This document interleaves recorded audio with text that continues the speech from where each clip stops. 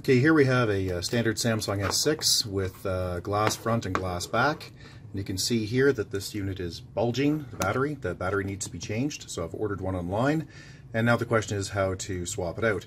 What you have to be careful of is this back glass, sorry, this back piece is glass. So what I'm going to use is a, uh, oh, sorry, and you can also see here that uh, it's gummy. There's a uh, basically a gum line around the outside here that um, uh, is what is uh, sticking the glass to the uh, to the back here, this adhesive. So what you want to do is loosen it up with heat, and that is what I'm going to use this uh, lovely Wagner um, uh, heater for. And uh, then I'm going to use a number of tools. I could use, you know, a pry tool, but in this case, I'm going to try just for fun to use just a, a simple credit card, effectively. see if we can pry it off. So let's take a look. So I'm going to start with the heat on low. Um, and um, that's pretty warm. And I'm just going to move it around. What you want to do is heat it evenly and don't overheat it. So it, the adhesive is only on the edge. It is not in the middle, so you don't have to worry about the middle. And let's see what we get here. So I'm just going to concentrate on this top area, or bottom area I should say here for a bit, and then we'll just see if we can get this off without shattering it. If it shatters, well, that's just what you have. It probably doesn't make too much difference because most people put a cover on their phone, so it's not the end of the earth. Okay, so let's see what we get here. I should have gloves to do this. I don't. So I'm just going to slide around, and you can hear, oh yeah, you can hear that adhesive just coming off nicely. Oh yeah, beautiful.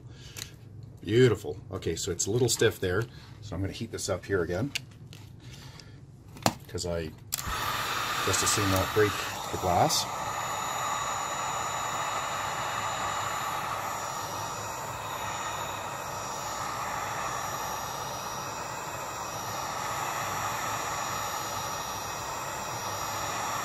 Alright, that's probably enough. I just have this on low on this Wagner heater.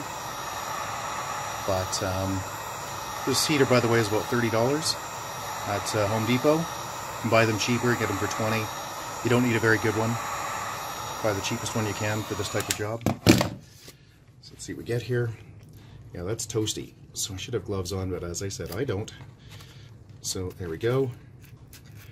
That's coming off. That's coming off. Can I get it all the way off, or do I have to heat it again? Um, Oh, I can get it all the way off. Isn't that nice? Okay, so now let's try to twist this off a bit without breaking it, because that didn't quite take at the end here.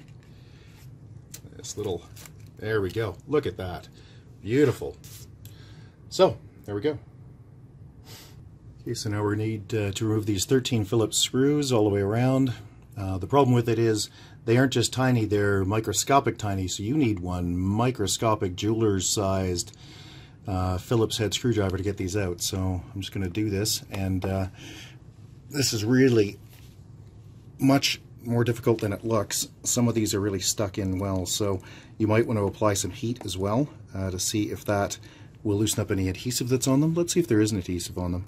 Sometimes they uh, they put a yeah an adhesive on so that they uh, stay in better. They don't come out. There we go. No, I don't see any adhesive on that one. So I guess not. But anyway, as you can see, they're not just tiny, they're microscopic tiny. So, so I'm going to remove all 13 of these screws and then I'll come back in a minute and um, we'll show you how to take the uh, off, which is the, uh, the, you know, basically the edge and the battery comes out from the front. Okay, so I couldn't get one of these screws to come out, specifically this one.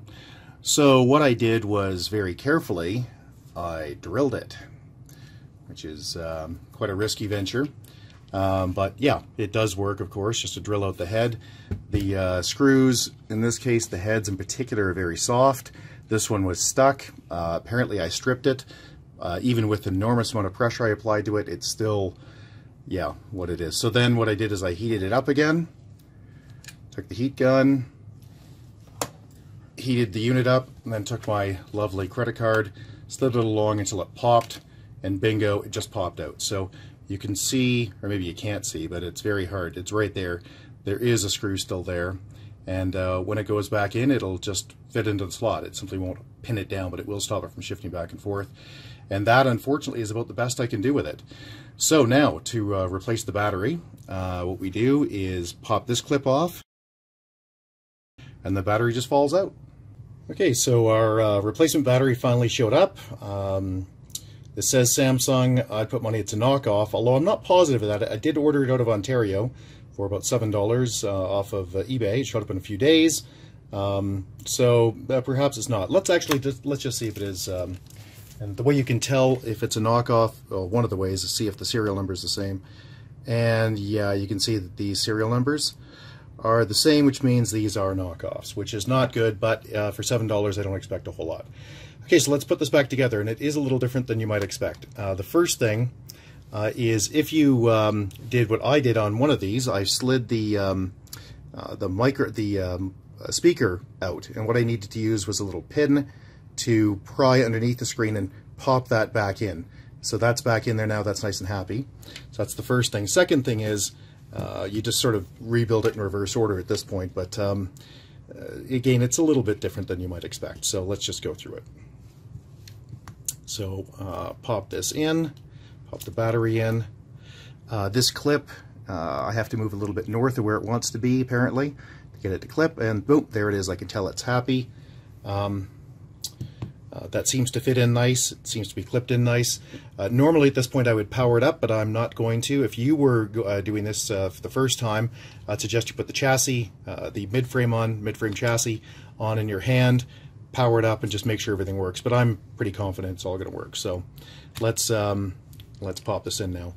So that's on. Uh, you start at the bottom because if you don't, it doesn't really go on. If you if you try to start at the top, uh, you'll find it that, that, there's a bump you can't get over. Put the uh, put the unit on from the bottom uh, to the top. The, the thing that's really important here is to make sure that this is lined flat. If it's not, there's something wrong and you need to deal with it. So you can see here, I have a bump and I need to fix that, so I'm going to fix that. I don't know what it is, but oh, there we go. There's some, some no, I don't know what that is. Let's figure that out. So I'm going to start at the bottom here, pop that, and then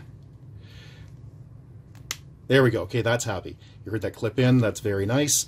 Okay, now uh, really the last thing that's uh, uh, critical here is making sure that when you put the screws in, if they're not in perfectly flat, that you get them out. So start at one side and work your way around.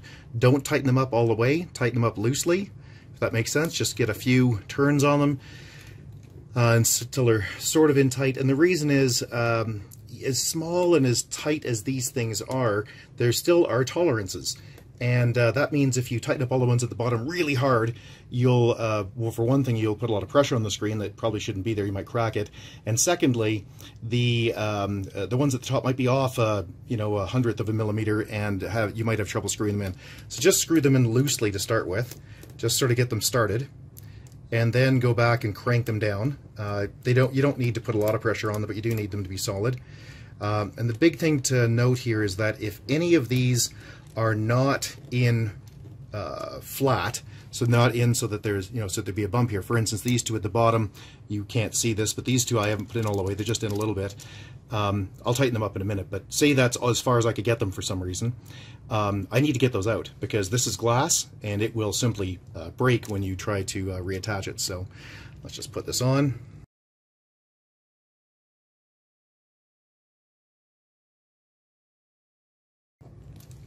Okay, once you've got all the screws started, once again, take a look at the edge, make sure that there's nothing, looks like it's bulging a bit there. Yeah, just not screwed down tight. You can see that that screw's not in all the way, which is good. Uh, but it does feel flat, it does feel good. Uh, I'll power this up at this point for fun. There we go. I'm going to let that, I'm going to keep working on it while it's powering up. Um,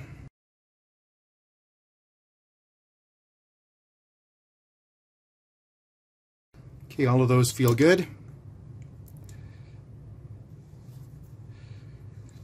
Okay, then just take the back and you'll notice that it still has the gum on it. So what you want to do is put that on, press it on starting from the bottom to the top, making sure it shifts in there nice. It will not click in uh, because there's nothing to click in. And just make sure that there's no bumps or anything that's particularly nasty there. There you go. Once that's done, you want that adhesive to reconnect. Uh, so the easiest way to do that, again, is with the heat gun. So let's just do that with the heat gun. And just like when you took it off, you need to make sure that the heat gun is applied evenly around the edges and a little bit in the middle too. But the uh, the key here is not to get put too much heat in one area and either warp or um, crack the glass. Glass does not like being does not like uneven heating. So let's go around. Okay, that's probably enough. Uh, and then I should have gloves, uh, but I don't have any uh, handy. So I'm just going to use this with my fingers. Quickly push it down. Try to squish it in.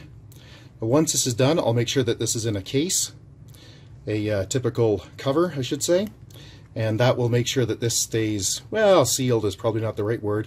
Uh, it certainly will never be as good as the factory, but it will be okay. I also like to do the same thing on the front,